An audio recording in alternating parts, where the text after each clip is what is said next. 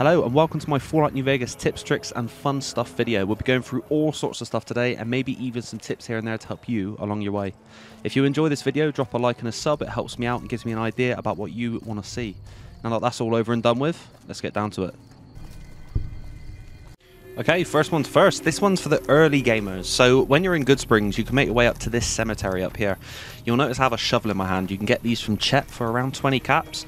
Little known facts, if you head up towards the graveyard, there are certain graves that you can dig up and get loot from early game. It's often overlooked and a very, very helpful loot to start the game with. Um, here we go. In this one, we've got Buffout. Heading over to the other one, opening this up, we've got 357 rounds. And in this one, a 357 Magnum revolver. You can get all sorts of loot from all sorts of graves. You do need a shovel to do it, however, you won't be able to open these graves without one. This one's a personal tip that I've not seen in many places. Always, always check post boxes. They have skill magazines, which are very handy if you get caught short without the skill that you need. Here's a cool one for Star Wars fans. If you head over towards Nipton, where you first bump into the Legion, not too far from Wolfhorn Ranch, you'll be able to find Uncle Owen and Aunt Beru, which is a nod to Star Wars. If you head over towards this broken building on the right hand side here without a roof or doors, you'll see two skeletons, and the Wild Wasteland trigger will happen in the top left. There's Owen, there's Beru. It's a cool one for Star Wars fans. Uh, here's a cool bit of mutation information regarding the uh, infamously friendly Death Deathclaw, which is on screen with you now. They, in fact, mutated from the Jackson's chameleon shown on screen right about now. They grow freakishly large and freakishly powerful. They are not to be trifled with. This is a cool reference. One of my personal favourites. That gun that you can get from Cliff Briscoe's gift shop in Novac is actually a reference to the gun in Blade Runner. This one just here. How cool is that? Here's a fun fact. If you creep up on a Brahmin without it detecting you or attacking you first, you can push it whilst you're in sneak mode, allowing it to ragdoll and fall in some uh, interesting positions. To the eagle-eyed among you who might be Indiana Jones fans, there's a fridge just past Goodsprings containing a skeleton with a suave gambler's hat. This is a nod to this scene from the Indiana Jones movie, although it didn't end too well for Indy in this case.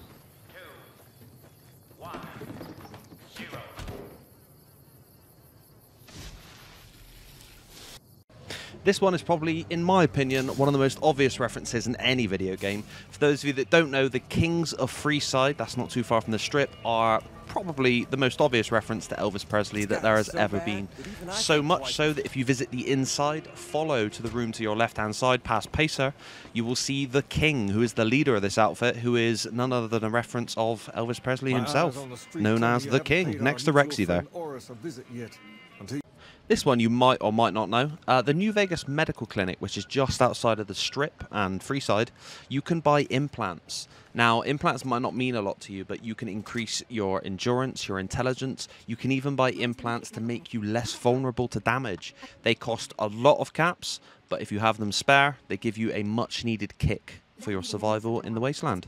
Um, Dr. Usanagi also has an inventory of Stimpaks and other medical related items.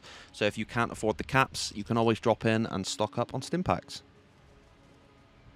Here is one of my all-time favourite tips. I've given this to my brothers, I've given this to my friends. Head towards the Silver Rush in Freeside. They specialise in energy weapon sales. It's ran by the Van Graffs. Once you're inside, head towards the main desk. Find an item you would like, pick it up, but don't click the prompt to steal it. You've got to carry it. Head towards the back room whilst carefully carrying the item, which will allow you to place it where you need. Open this door, and then there'll be another door you need to open as well. That is the bathroom. Pick up the item that you had a second ago, carry it into the bathroom, and shut the door behind you. You can then steal the item out of line of sight of all of the employees and sell it back to them. That's the best part. You can steal all of their stock and sell it back to them for a really, really nice caps boost early game. This one is cool but slightly more brutal than the previous ones. If you head just past the Eldorado gas and service station, you can find the Sunset Sarsaparilla sign. Near the sign is the Lonesome Drifter. If you pop the Lonesome Drifter and loot his corpse, you will find something called the Mysterious Magnum. This is one of the more unique weapons in the game with the draw noise. Listen to it as I pull it out from my inventory. You get a little jingle as you pull it out and as you put it away.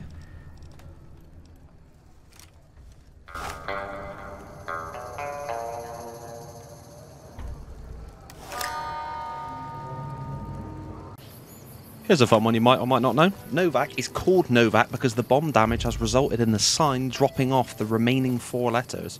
It's called Novac because it was no vacancy, and we are now missing the A, N, C, and Y. There we go.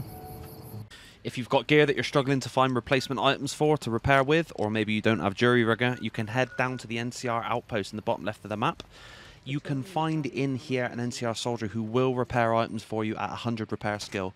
Heads up though, it's very expensive, although it is one of the only methods to fully repair your armor if you don't have a suitable piece to repair it with. On random lampposts throughout the wasteland, you will find occasional plaques that say TES04, referencing the Elder Scrolls Oblivion. Here's a cool retro nod. If you head towards Primm and go to the Vikki and Vance Casino, inside you will find a car. This is in reference to Bonnie and Clyde. Vikki and Vance, Bonnie and Clyde. See where this is going? Go inside and see a shot up car. A picture of Bonnie and Clyde's actual car is here. You can see the similarities. Here's a cool one for those of you that are quite late in the game. If you have just killed Mr. House or followed the quest line to do that and come back towards Goodsprings, you'll notice if you visit Victor at his shack, he's now been deactivated. The classic cowboy icon is no longer on his face, and he is just there as a sentient but non-moving robot. This one is probably one of the most unique weapons you'll see in the entirety of Fallout New Vegas.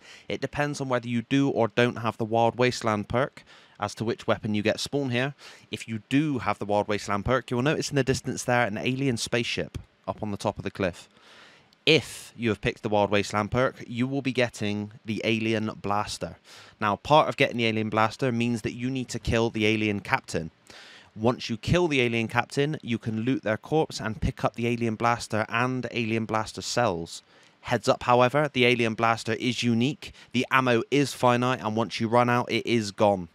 If you don't have the Wild Wasteland perk, in my opinion, you get the better weapon in the unique Gauss rifle that is the YCS 186. It does incredible amounts of damage, is a very, very effective weapon, and is one of my favourites of all time. This one is perhaps the most unique and most bizarre find you'll have in New Vegas. If you head to Freeside and find Max running around here, he looks like he has a toy gun. That toy gun has the potential to be absolutely deadly. Once you use Helios 1 to power Archimedes, the Euclid C-Finder will be one of the most powerful weapons in the entire game. You can get it for 20 caps with a decent barter skill. I think a thousand without it. If you choose to power Archimedes to get Euclid C-Finder powered, you can use the laser to devastating effects. Fun fact, the Archimedes charge and the Alien Blaster Cell are in fact the same model. The only difference is the colour of the charge itself. And that's your lot for now. I hope you enjoyed the video. I enjoyed making it. It's been one of the ones I put most of the work into, to be honest. It's a nice difference from all the shorts I've been making. Um, if you did enjoy, please hit like and subscribe. I appreciate it. I know it sounds really generic on YouTube now, but it really does help me out. If you want to see more of this, please let me know down in the comments. Um, I hope you liked, and I will catch you on the next one. Peace out.